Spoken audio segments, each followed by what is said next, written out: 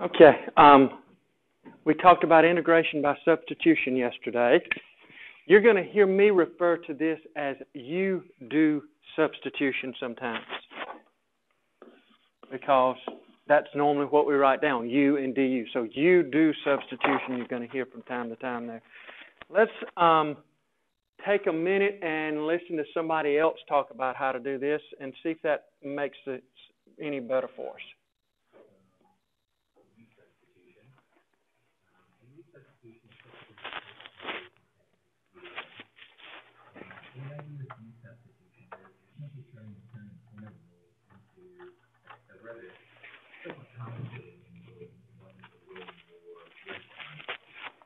Can y'all hear that okay?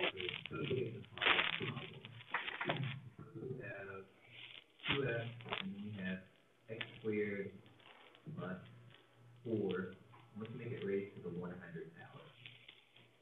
Now, if you didn't know anything about u substitution, you know, a little bit of integration, you could simply multiply this thing out.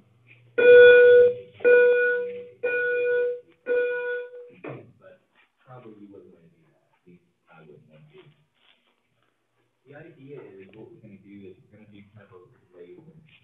So I'm gonna call the stuff on the inside x squared plus four. I'm gonna relabel that as u. I'm gonna make u equal to the stuff inside the parentheses. And the trick with u substitution is look for things that are derivatives of each other. Notice if you take the derivative of this inside stuff, you'll actually get the two x term. It doesn't have to be exactly the other stuff, as, as we'll see, but it's usually a clue that u substitution works. So again, I'm calling u the stuff on the inside. I'm basically taking the derivative of u, which means I have to take the derivative of the right side as well. The derivative of x squared is two x, four becomes zero, and then we hang on a dx. What you're actually doing here is calculating the differential. And notice the stuff inside the parentheses, now if I go to rewrite this, well, we relabeled x squared plus four, that's what we call u. Now I have u to the one hundredth power. And notice my two x dx that's left over, because again, I've replaced the u squared, um, plus four raised to the one hundredth power. The only thing that's left over is the two x dx term. That's exactly what du is equal to. And I'm just gonna put my du out to the right. And now the idea is, this is just a basic integration problem. You've got a variable raised to the one hundred power. It's just like having x raised to the one hundred. Well, you'll get u to the one oh one, we have to add one to the power. Divide by that new power, plus c. And then the idea is, since you started with x's, you want to stop with x's. Right now we have u. Simply just use your original substitution and plug that back in. So again, u are the same thing as x squared plus four, raised to the one hundred and one power, divided by one hundred one, plus c. And that will be your antiderivative. So again, u substitution is just kind of a trick for relabeling things to make it look like a, a more basic problem. Uh, Okay. So that's his rendition of u du substitution, of integration by substitution. So as you looked at those four or five problems last night, did any of them cause you great grief or did you have an opportunity to look at those? If you didn't have an opportunity, I'd rather you not ask questions. But if any of them, the one that jumped out to me as being, I guess it was the last one. Let's get to a clean slate here. I think there was one.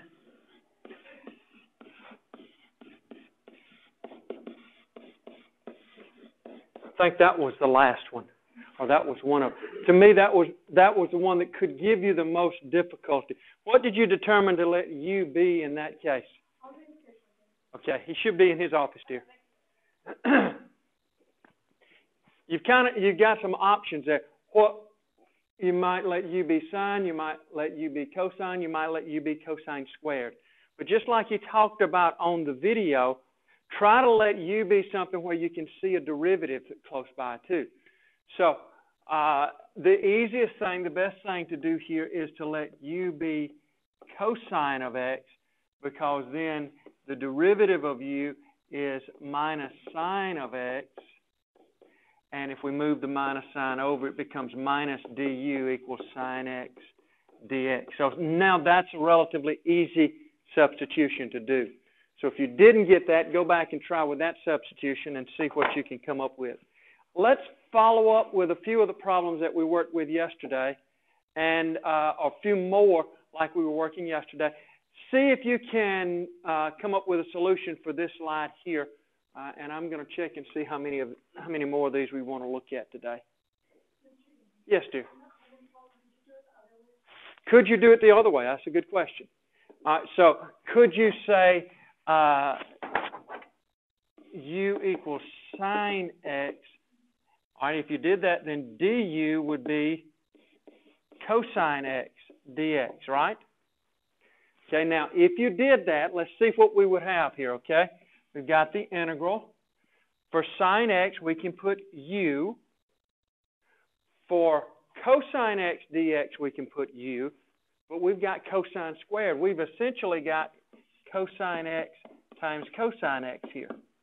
So we could replace one of these and the dx with a du, but that leaves us with a cosine x still out here.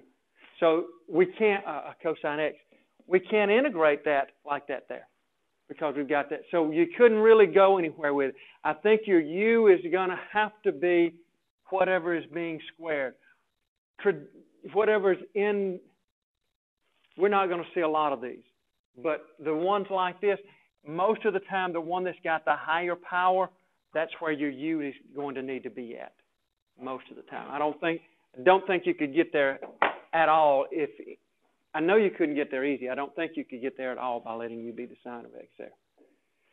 Okay, so look at this problem here. We're just going to take a few minutes and look at three or four and then give you some time to work on uh, some of your problems that you've got to do.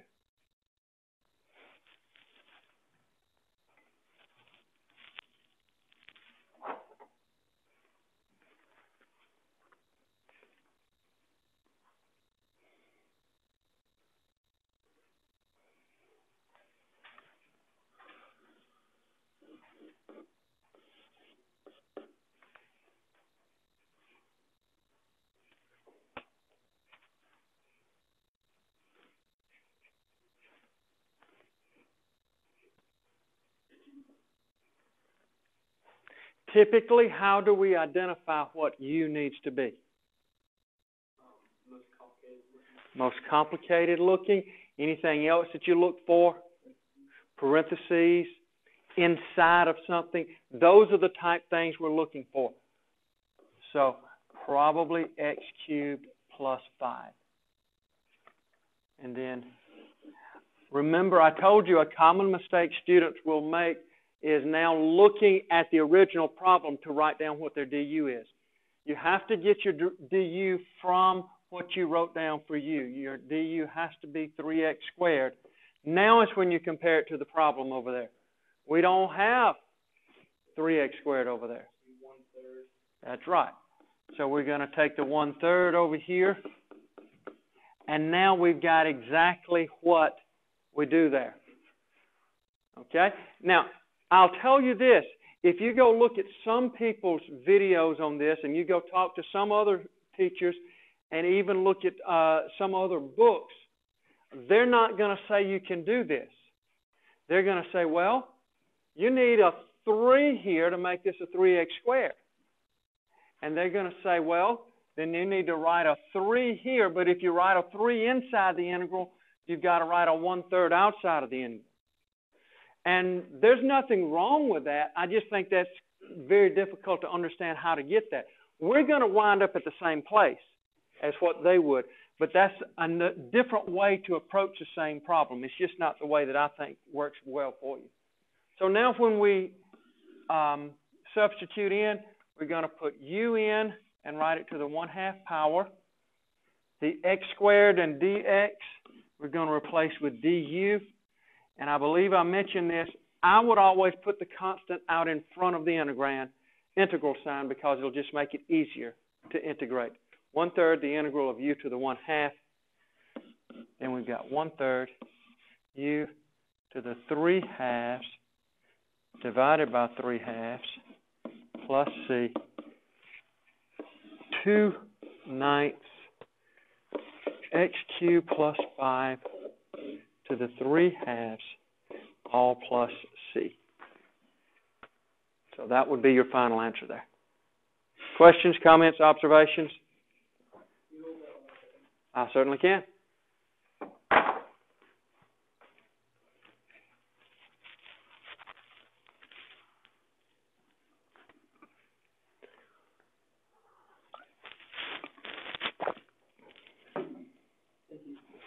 All right.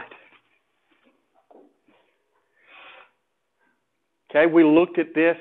We looked at one similar to this yesterday. So, um, Jordan, what do you think your U would be on this particular problem?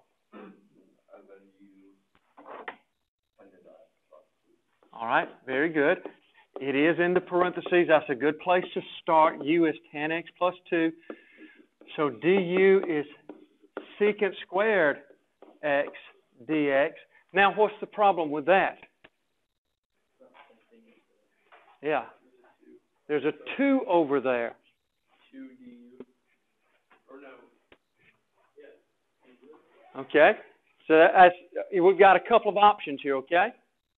It's fine if we wanted to say, okay, well, we need this to be 2 secant squared. So 2 secant squared x dx and thinking algebra, if I multiply the right side by 2, I have to multiply the left side by 2. That's fine to think, okay, that's what I'm going to do. Another thing you could say is, well, this 2 is a constant number. What have we been doing with con any constant numbers? Move it to outside the integrand. I like that option better for because of a problem that we're going to, or some problems that we will see probably in a couple of slides here. I like the option of moving that 2 out there. Again, it doesn't matter which way you look at it. Because if we look at it the way I've got it written here in green, we say, okay, with 2 secant squared dx, that's what I've got. So I'm going to replace it with 2 du. Where are we going to put the 2 at? Out in front of the integral anyway. Oh, that's what I've been telling you to do. So you're going to wind up at the same place. So now we're going to integrate. In place of tan x plus 2, we put u in place of secant squared dx, we're going to put du. So we get 2 times 1 half u squared plus c, which becomes tan x plus 2 6. Oh, yes, thank you. Thank you. Thank you. Tan x plus 2 quantity squared. My, my apologies there. If you got to catch me there, I'll mess up on them. All right. Is this still feeling okay to you? I'm not going to waste our time with that. You can do that. What about there?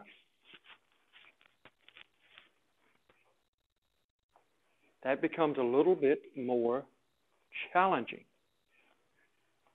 My first thought is do you need to do u du substitution? That's a difficulty that students get into here is, okay, I've got to do you do, I've got to do you do, I've got to do you do. So th- that may be a first thing for you to figure out. And, and as you're thinking about that, I think you'll find that yes, we have to because we've got a composite function here. We've got something inside the square root. All right? What's the problem? What do y'all see as a potential problem with this? Uh, there's nothing outside the square root, is it? Or it doesn't look like there is.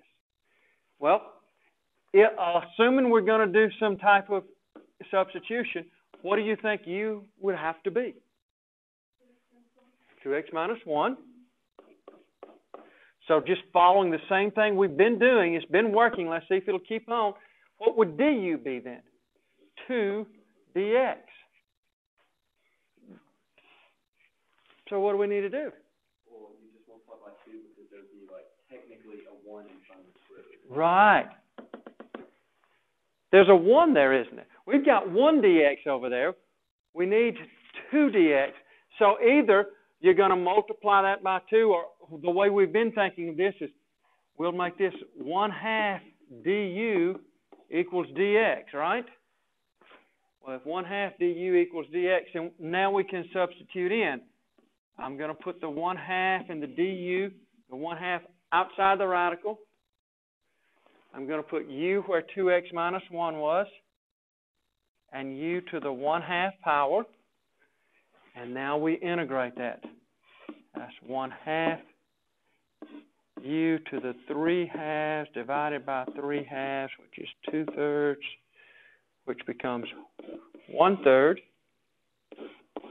2x minus 1 to the 3 halves, all plus c. And again, you sh should be able to check your work by taking the derivative and see if you wind up back where you started at. Okay, we're comfortable with that? Now keep that in mind. In fact, keep that on your tablet right where it's at while we look at this. This problem looks almost the same, doesn't it? Would you agree? Almost the same. The only difference is we've got that x. Well, what do we know based on the last problem? If we let u be 2x minus 1, what's going to happen? du is going to be 2dx, and nothing's uh, 2d. No, that's inside joke. Uh, then we don't know what the x does out there. What are we going to do with it? That's confusing, right? We, how, how are we going to get rid of this x? Because we know we we aren't capable of integrating something that looks like that with x's and u's in it. That's kind of where it seems like we're headed to, okay? This is this is to me the the most challenging problem for students to get a good handle on how to do. We're still going to start off just like we just like your instincts say you do. You're going to let u be 2x minus 1. That means du is 2dx. Well, we don't have a 2 over there. So obviously we think we, it's 1 half du equals dx. It's nothing changed so far. So let's see. Now, now it's when we would normally go over here and start substituting in. For the 2x minus 1, I can put u to the 1 half.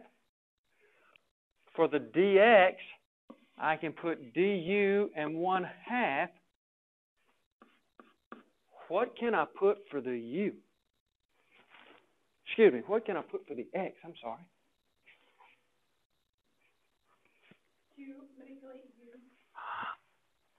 Keep going. Keep going.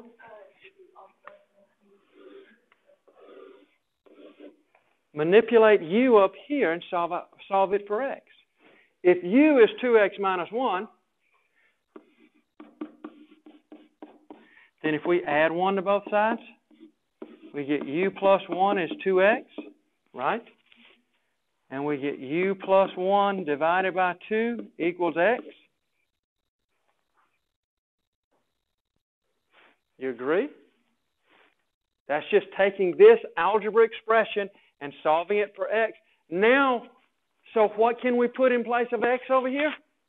That ugly creature right there, u plus 1 divided by 2. And you're saying, that doesn't look any easier than what we had to begin with. But it is. Trust me. Okay? That's the steps we need to go through.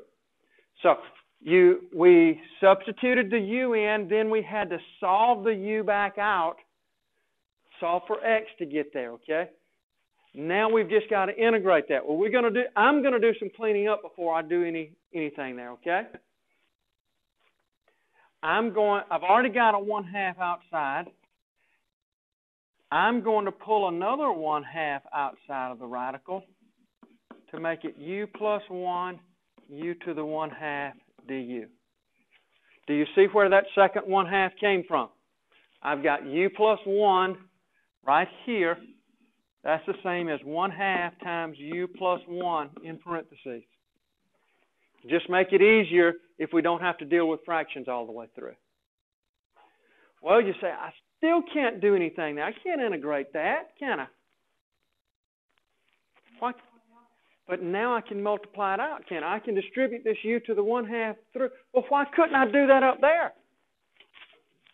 Yeah, that's what I'm thinking. Because uh, it's to the Right. We could up here we couldn't distribute this to there. There's, there's not anything to distribute it through to. Agree?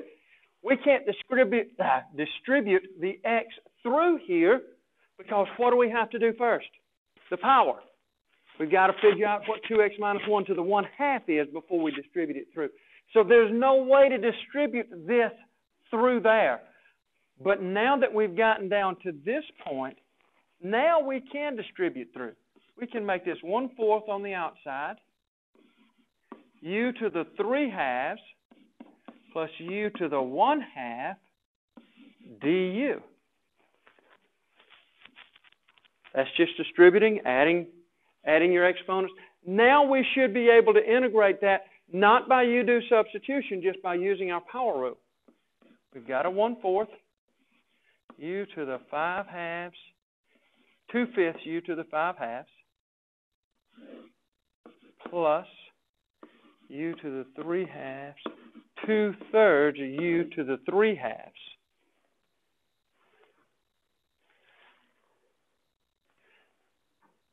Now, we want to get rid of the u. Remember, u was what? 2x minus 1. So, 1 tenth 2x minus 1 to the 5 halves plus 1 sixth 2x minus 1 to the 3 halves plus c. And if you take the derivative of that, after about 20 minutes, you can get back to where we started from. But it'll take you a good 20 minutes to get there.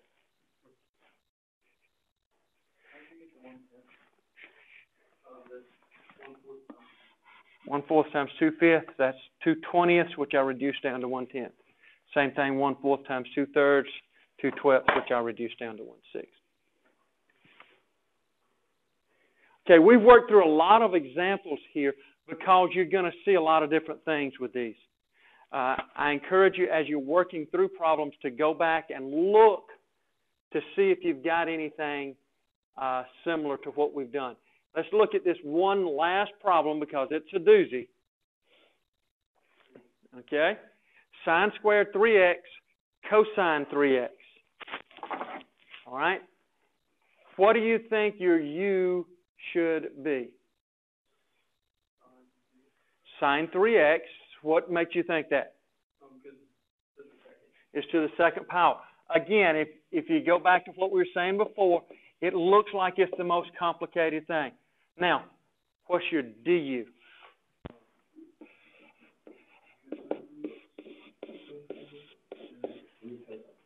Cosine 3x times 3 dx. Where did you get that extra 3 from? Chain rule. You're taking the derivative of sine 3x is cosine of 3x times the derivative of 3x, which is 3. So you can't forget the chain rule. See, this is not like math classes you've had before where once you've done with it, you can forget it. Nope, can't do that and have success here. So still got to take the derivative of it. Well, I don't see a 3 over there, so I'm going to divide the one-third out.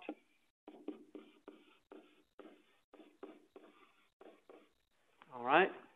And now it should be something I can work with. I've got a one-third.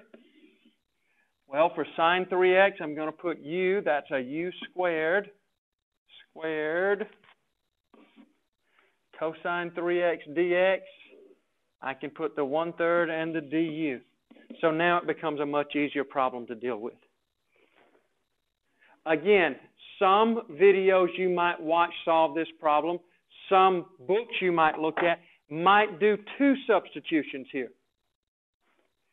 Once they got to this once they got to this step right here, they might say let v equal 3x and then dv equals 3 and do all kinds of stuff. That's just a little bit too confusing to me. I think it's easiest because of because we can just divide the 3 out from here and get it over to the other side. If we finish this off, we get 1 third u cubed over 3 plus c, which becomes sine 3x cubed over 9 plus c. Did I do that right?